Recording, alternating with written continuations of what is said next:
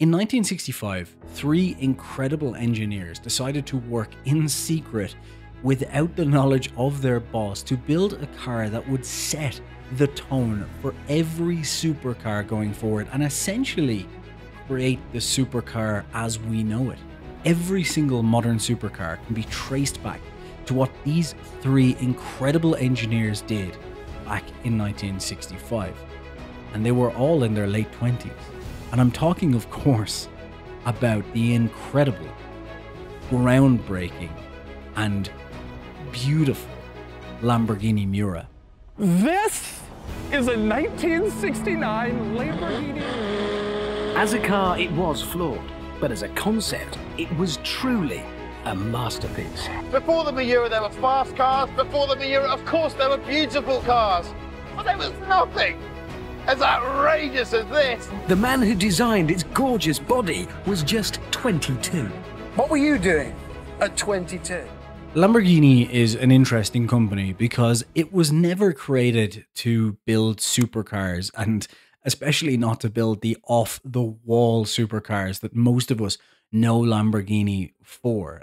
It was created by Ferruccio Lamborghini to essentially do what he didn't feel Enzo Ferrari could. You see, Enzo Ferrari built his cars purely to pay for his racing cars, and that is essentially how the Formula One team was built.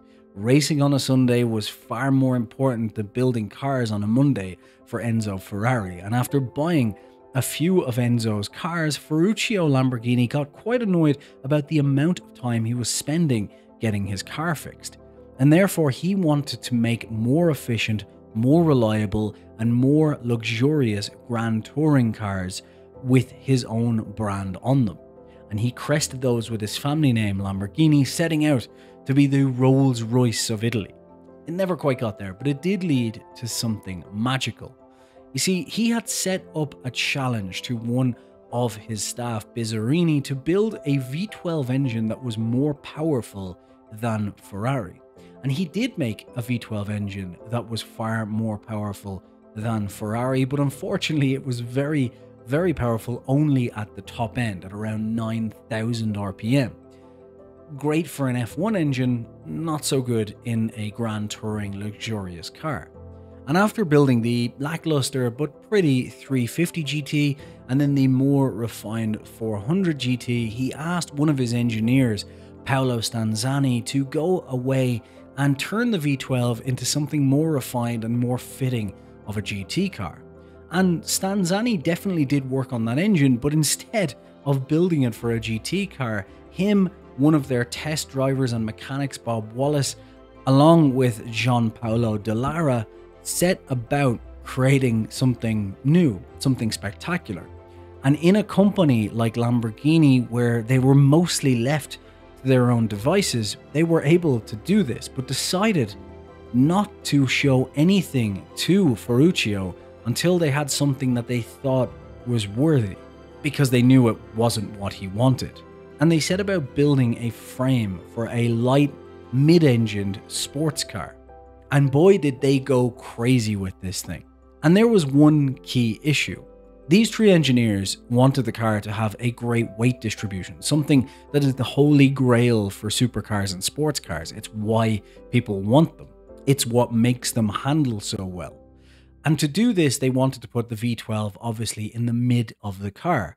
Unfortunately, the Lamborghini V12 was absolutely enormous, and if they were to run it from behind the driver all the way out, the car would no longer be a small, light, mid engined, perfectly distributed supercar.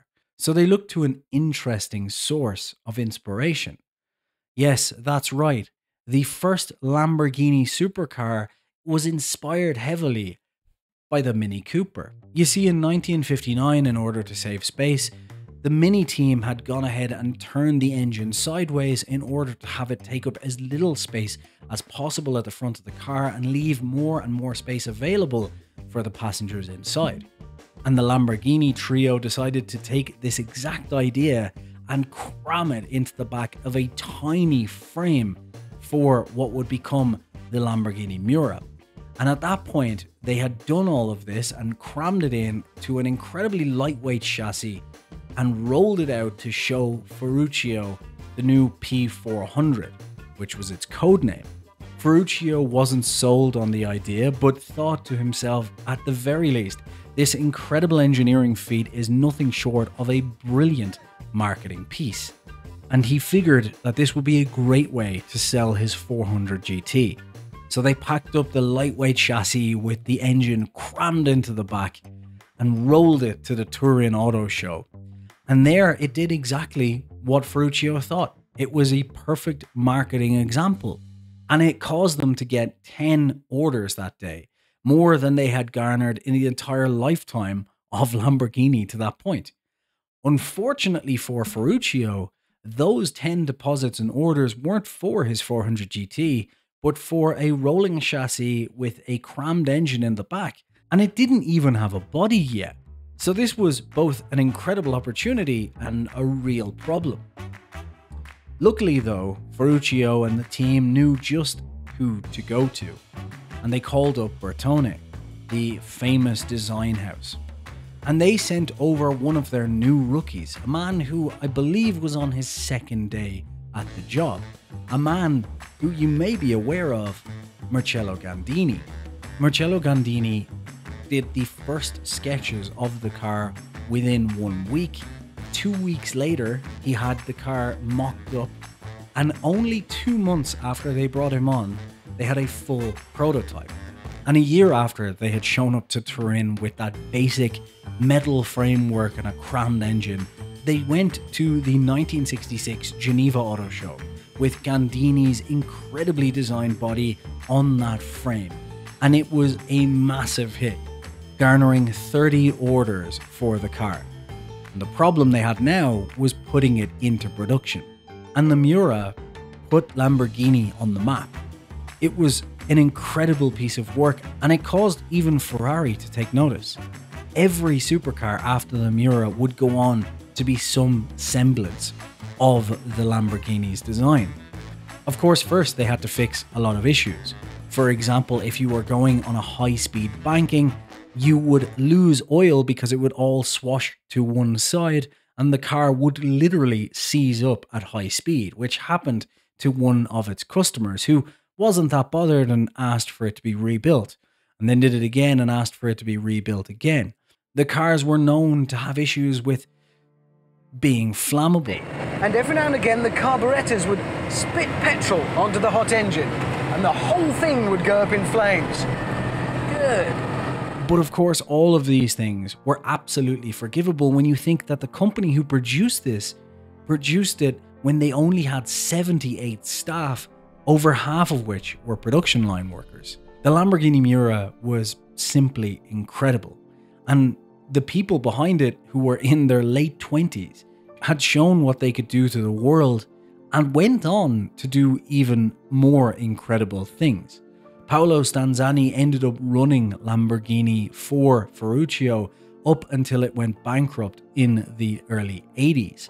Gianpaolo Dallara, you may be aware of, especially if you watch Formula One or have seen me shout about Haas, went on to form Dallara, a company that is known the world over as an engineering company in motorsport.